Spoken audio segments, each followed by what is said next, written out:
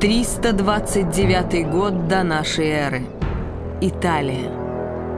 Воинственные города-государства борются за превосходство над соседями.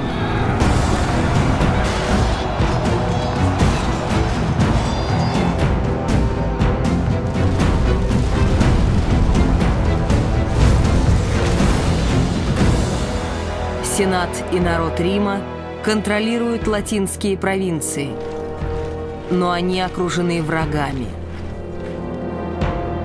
Республика стоит на распутье истории. Римляне, сенаторы, друзья. Римский сенат и народ стали полными хозяевами Лация. Латинский народ теперь един. Мы не знали такого славного дня с тех пор, как благородный Брут изгнал последнего царя. Но в этот славный час мы должны быть на стороже. На юге изменники греки и сомниты мешают нашей торговле. Тарквиний стонет под пятой тирана. И этот тиран угрожает Риму. Бросим ли мы людей Тарквиния? А с севера наступают варвары.